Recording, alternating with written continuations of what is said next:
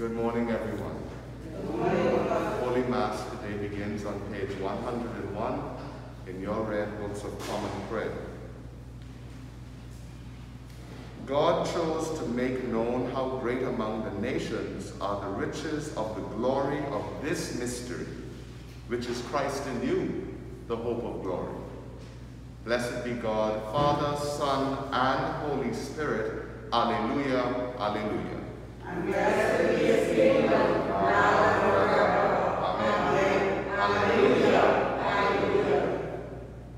Together we pray the collect for purity. Almighty God, to you all are open, all desires known, and from you no secrets are hid. Cleanse the thoughts of our hearts by the inspiration of your Holy Spirit, that we may perfectly love you and worthily magnify your holy name through Christ our Lord.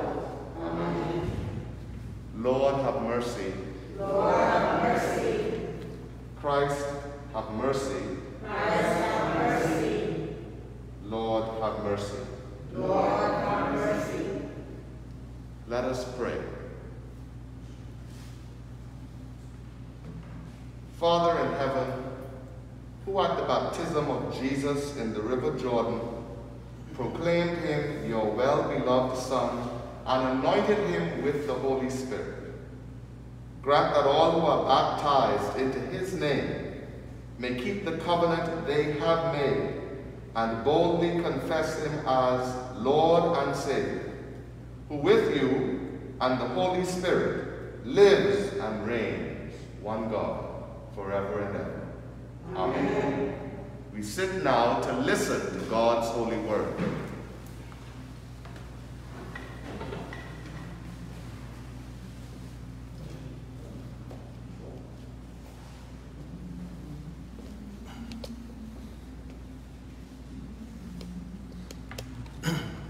A reading from the Word of God, written in Hebrews, Hebrews chapter 2, verses 5 to 12. Now God did not subject the coming world about which we are speaking to angels, but someone had testified somewhere. What are human beings that you are mindful of them, or mortals that you care for them? You made them a little lower than the angels. You have crowned them with glory and honor, subject all things under their feet. Now when subjecting all things to them, God left nothing outside their control. As it is, we do not yet see everything in subjection to them, but we do see Jesus, who were for a while made lower than the angels, now crowned with glory and honor because of the suffering of death so that by the grace of God he might taste death for everyone. It was fitting that God, for whom the and through whom all things exist, is bringing, is bringing many children to glory, should make the pioneer of their salvation perfect through suffering. For one who suffers and those who are suffered, sacrificed, sacrificed, sanctified, all have one Father. For this reason, Jesus is not ashamed to call them brothers and sisters, saying, I will proclaim your name to my brothers and sisters in the midst of the congregation. I will praise you. The word of the Lord. Thanks be to God.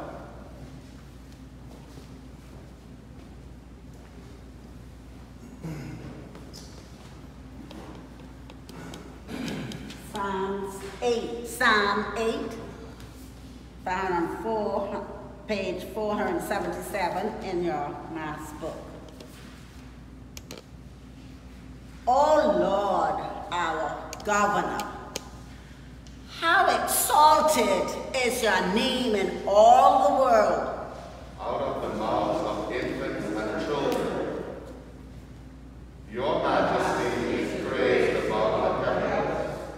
have set up a stronghold against your adversaries to quell the enemy and avenger.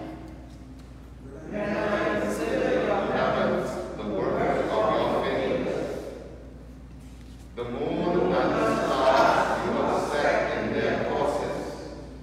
What a man that you should be mindful of him, the Son of Man, that you should seek him out. You have made him company to the angels. You have adorn him glory and honor. You gave him mastery over the works of your hands. You put all things under his feet. All the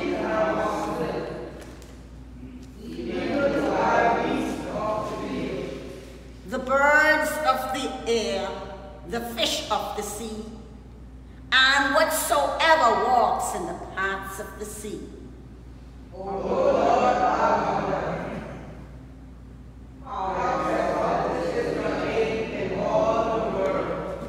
Glory be to the Father, and to the Son, and to the Holy Spirit. Amen.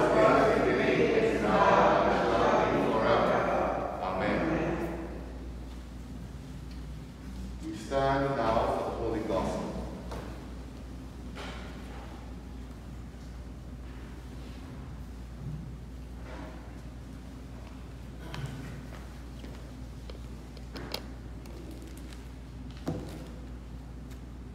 The Lord be with you. A reading from the Holy Gospel of our Lord Jesus Christ according to Mark, the first chapter, beginning at the second verse. Glory to Christ our Savior. They went to Capernaum, and when the Sabbath came, he entered the synagogue and taught. They were astounded at his teaching, for he taught them as one having authority, and not as the scribes. Just then there was in their synagogue a man with an unclean spirit, and he cried out, What have you to do with us, Jesus of Nazareth? Have you come to destroy us? I know who you are, the Holy One of God. But Jesus rebuked him, saying, Be silent and come out. And the unclean spirit, throwing him into convulsions and crying with a loud voice, came out of him. They were all amazed, and they kept on asking one another, What is this? A new teaching with authority? He commands even the unclean spirits, and they obey him. At once his fame began to spread throughout the surrounding region Galilee. This is the gospel of Christ. Praise to Christ our Lord. Please be seated. Words from the gospel we've just heard. But Jesus rebuked him, saying, Be silent and come out of him. As we are still in the season of Epiphany, there are a few obvious changes. For example, liturgically speaking, we have moved from white now to green, the symbol the church uses to describe growth. Jesus himself has also grown from what we've just celebrated Christmas. Being a baby in the manger, to being presented with gifts from the wise men, to what we celebrated Sunday, Jesus at 30 being baptized in the River Jordan, and now today, he's at work. And one of the first things in this year's cycle that we hear Jesus does is an exorcism. Remember, Epiphany is about manifesting, revealing who God is. Even more than just revealing who He is, it's us having encounters or experiences with God. And this is what the season of Epiphany tries to pull out of the stories who Jesus is and what Jesus has come to do with us and for us and through us. But the text chosen for this morning says that this Jesus rebuked the devil, saying to the devil, Be silent and come out. This, this word silent can also mean quiet. And if we were to, to translate it literally, it means muzzled. Almost how we are with masks, to have something over our mouth, to mums the word.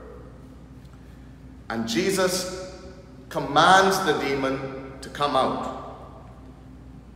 But in a final show of defiance, because remember the devil said, We know who you are. You are the Holy One of God. We get it. But to show their resistance against who he is, the scriptures say that the unclean spirits convulse the man, throw him on the ground, wring him up, make him scream with pain as the demons depart. And they depart helpless before Jesus' word of command. This, if you remember the story of his baptism, John did say, There is one that is coming who is mightier than I am. This is he. He has command even over devils and demons. And already, John the Baptist's prophecy about who Jesus is, again, what Epiphany does, exposing Jesus to us, inviting us to have an encounter with Jesus. John's prophecy is seen by all the people, especially in these verses this morning, when the people begin to spread who he is throughout the region of Galilee. The demon's tyranny is over, and the possessed man is set free. But this story of Jesus this morning's first exorcism portrays that the forces of evil are real. But then, if we can accept that evil spirits are real, then we must accept that the power and the presence and the person of Jesus is also real.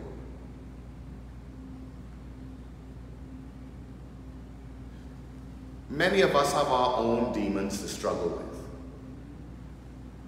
The truth is, many of us have demons. Now, now, what they may be may vary.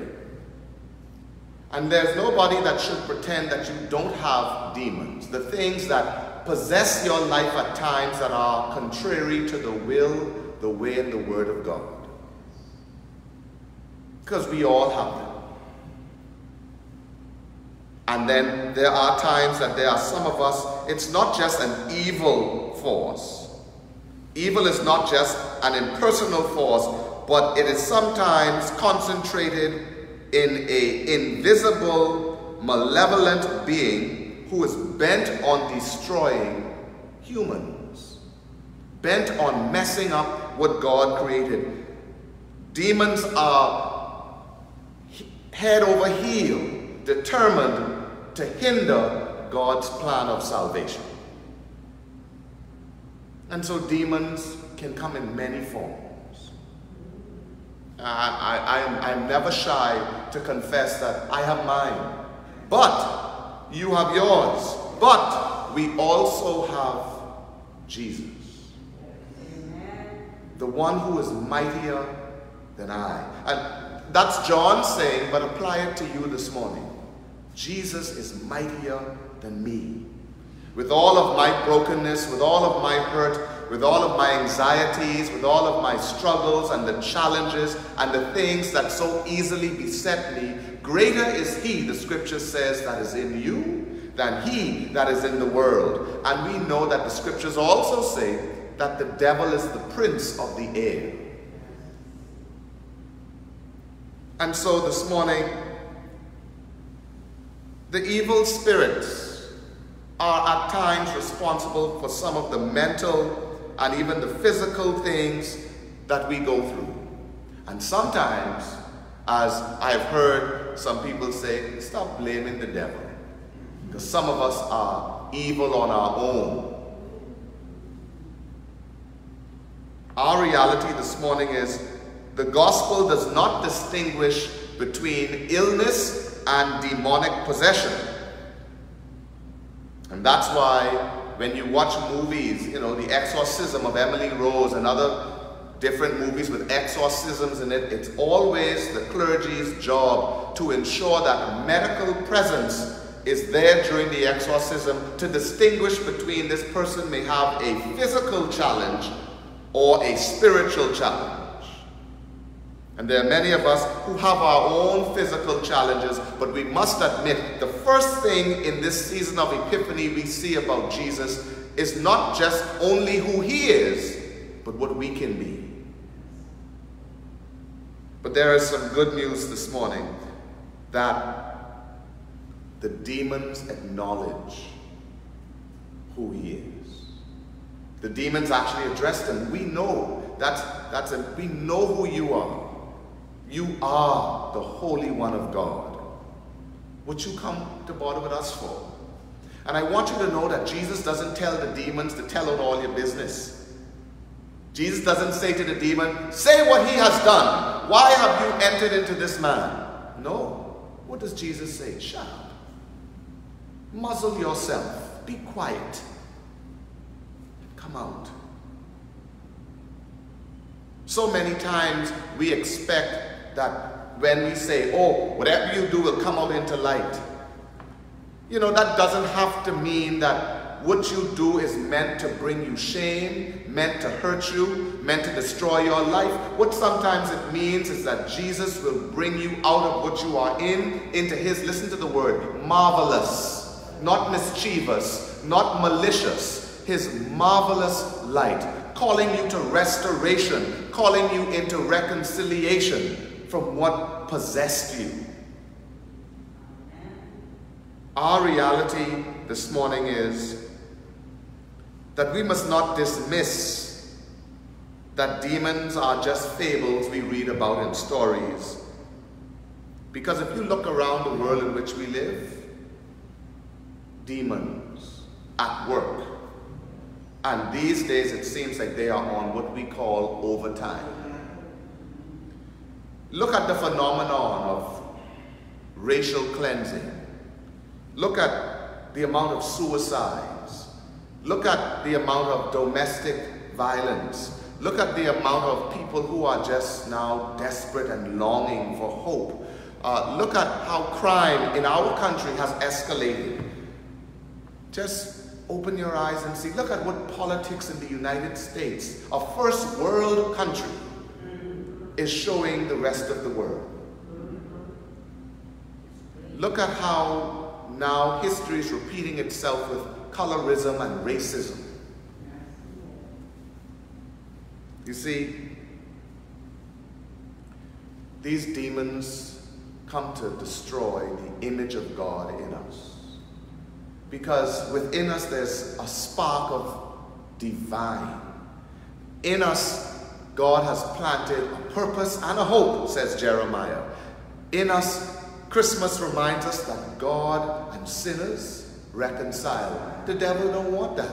Why would he want you to reconcile with God? Why would he want me to be a better priest, a more loving husband, a more caring father? Why do you think the devil would want that? And here's our job as church. If we are frightened that the devil has real power,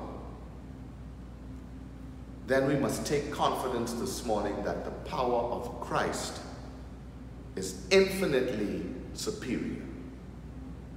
If demons and what they can do frighten you, then knowing who Jesus is this epiphany, having an encounter with this Jesus who steps out of the cradle and out of the water, and the first thing we read in Mark is that he casts out the demon out of a man to set him free and liberate him, should give us the confidence and the boldness and the quietness in which we should find strength. Be encouraged today that through Jesus' cross and resurrection, which we will experience later on in the year, he has definitely conquered the powers of hell. For the present time, however, their malicious actions, it's all permitted by God. And God is able, according to Romans 8:28, to work out good out of every evil. Listen to that. Romans 8:28. God is able to work out the good out of every evil. And I want to remind us when we see demons in others, always remember that we need to look within our own homes. Look around you first, because everybody is fighting or struggling with a demon, many demons, whatever it may be. And we seem to focus on the fact that they have a demon and rather than offering them or sharing with them or giving to them Jesus. Today I pray that our baptism affords us protection from the demons that haunt us and taunt our lives. Today I pray that whatever the demons are that we are fighting, Jesus this time of year would say to each and every one of us, or to the demon in us, quiet, muzzle yourself, and set my child free. Amen. If you desire to be free of the very evil that possesses you, or may seem to have hindered or broken a part of your life, and, and there's no shame in saying you're there. I have been there and still there many days. But knowing that Jesus is able to rescue me, the song says, Jesus will save. Knowing that Jesus saves and that his idea of casting out the demon, yes, you notice the demon tries to hurt the man, right? You telling us come out, but going to break him up before we leave him. We can throw him down, probably break one of his fingers, do all kind of manner. Convulsing means to throw him down with force, to hurt the man. In the presence of Jesus, listen to what I'm saying. In his presence, the devil's figured, okay, we hear you and we can listen to you, but we can we can finish him off. But still, because they are helpless, because they have no power within themselves, because God is control of everything, they may try their best to destroy, but God still delivers. Be encouraged today that no matter the demons we face, we are to encounter a God who is infinitely superior. A God whose voice, whose presence, even the devil in hell knows that he is the Son of the living God. Do you know him to be the same? Amen.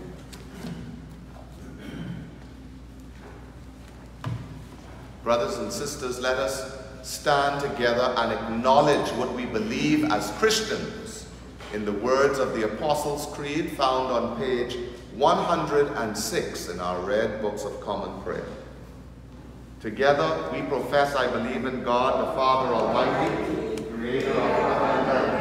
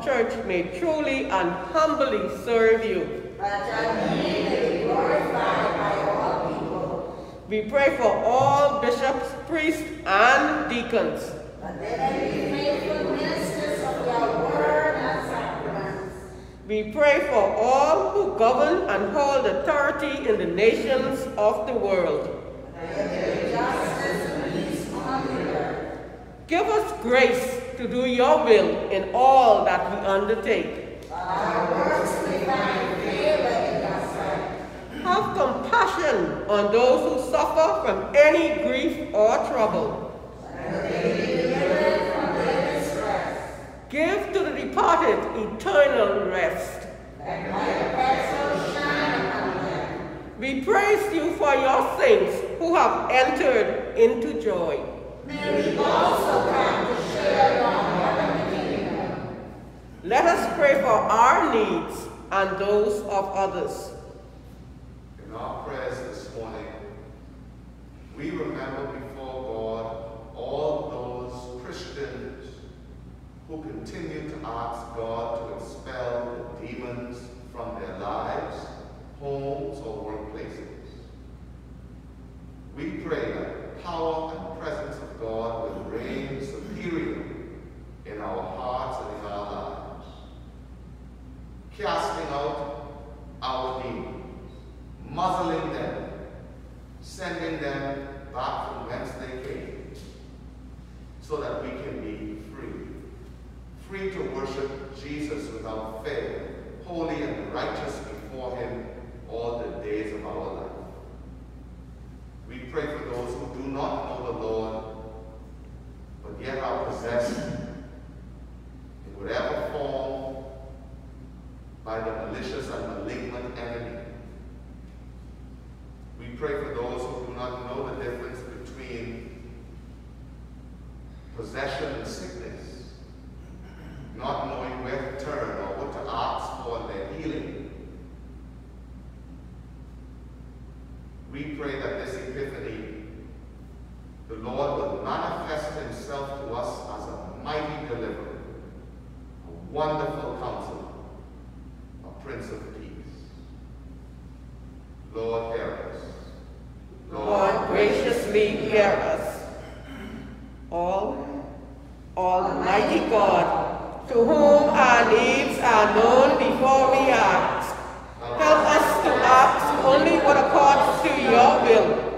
the good things which we dare not, or in our blindness cannot ask.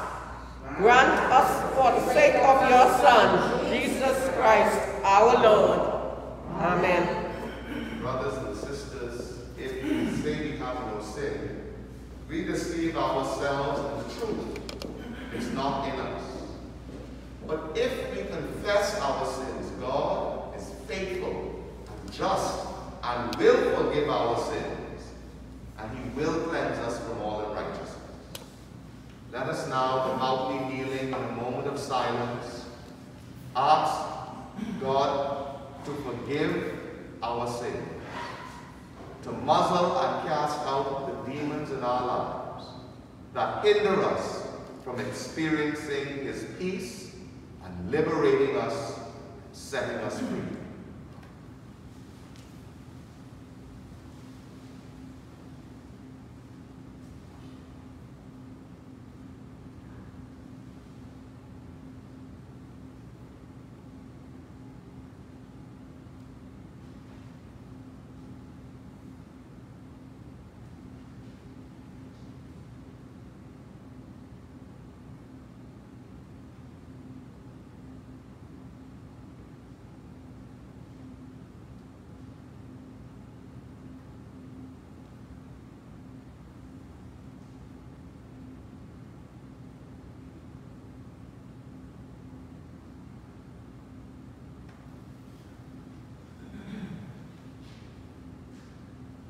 Using Form A, together we pray. Almighty God, our Heavenly Father, we have sinned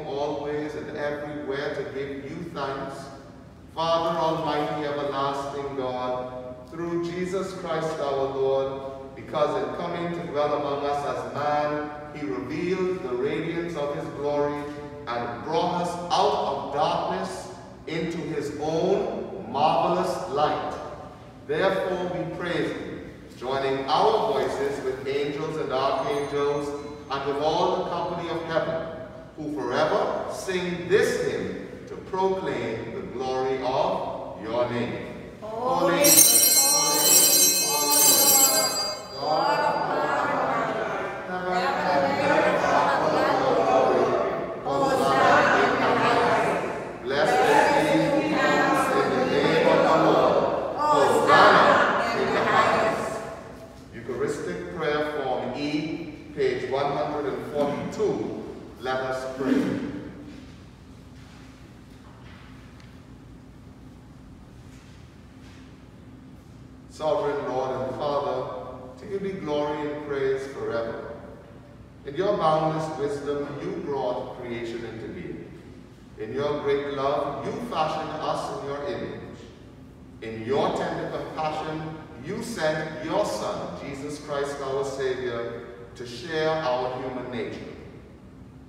the power of the Holy Spirit, he overcame the power of sin and death and brought your people to new birth as first fruits of your new creation.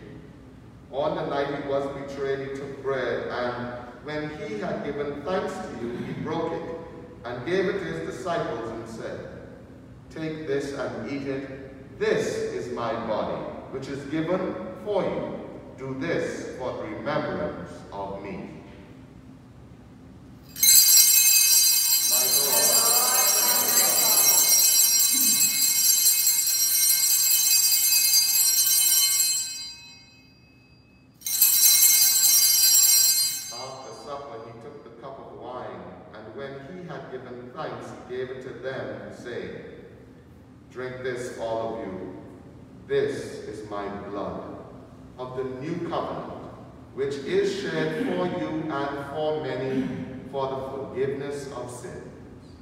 Whenever you drink it, do this for the remembrance of me.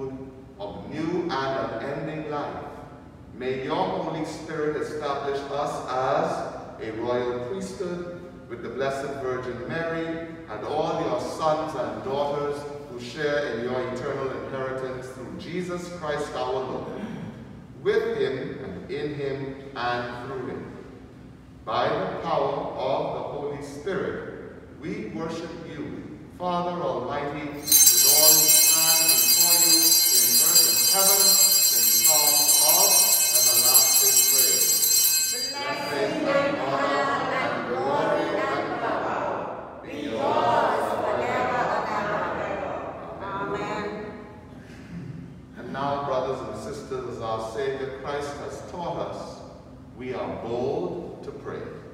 Our Father in heaven, hallowed be your name. Your kingdom come, your will be done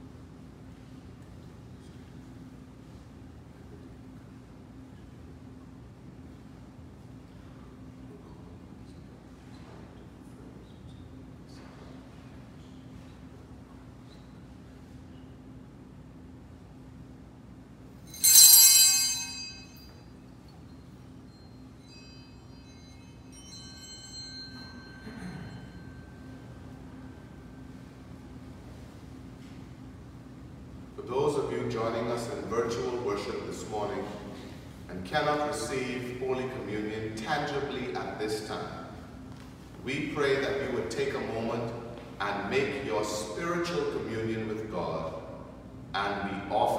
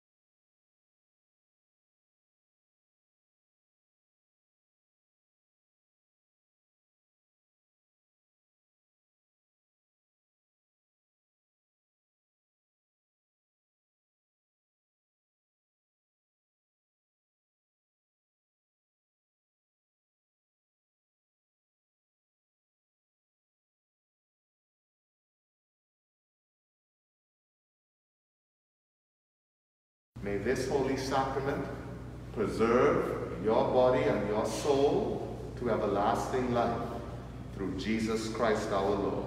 Amen.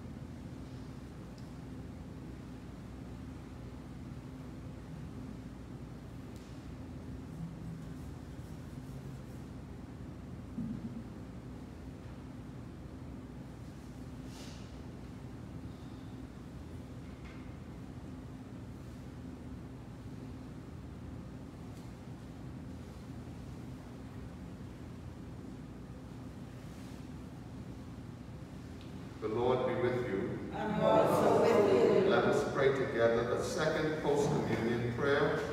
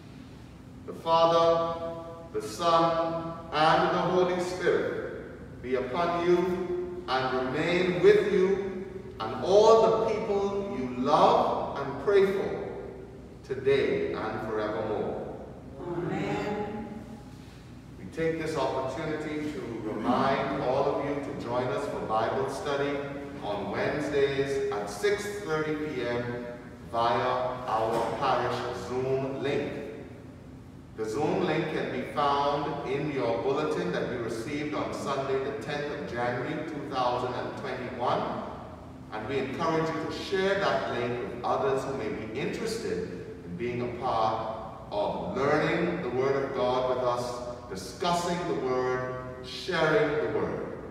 Please encourage your own family first and then friends to join us as we continue our journey with the Church of Ephesus.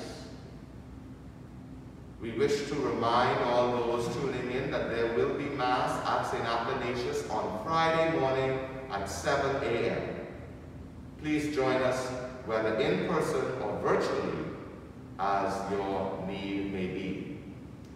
Today we administer communion to the sick, to those in the south of our parish. Please pray for those who are receiving communion and those administering communion. In our prayer today, we would like you to remember all of our students who attend the University of the Bahamas who begin their spring semester today. And this is obviously done virtually because we are still in the midst of a global pandemic. All those students who have returned to school abroad in foreign places we continue to lift them up in prayer as they begin a new semester as well, especially those in the United States and in Canada where the pandemic obviously is on a larger scale. So we pray for those students and teachers, professors and lecturers, and staff of these universities and colleges as well. Please stand now for dismissal.